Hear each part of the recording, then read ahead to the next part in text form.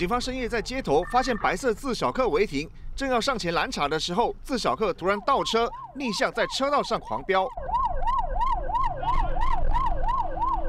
自小客逆向倒车冲了三百公尺，派出所长下车徒步追捕。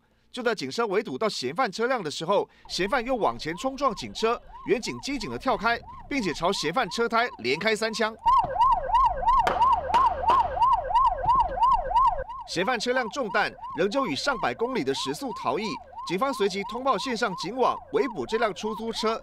深夜台东街头连续枪响，还伴随刺耳的警笛声，把附近民众吓了一跳。他他从这从这边经经过这开，开开开枪，开几枪？大概三三四枪。嫌犯车辆有弹孔，想赶快甩掉麻烦。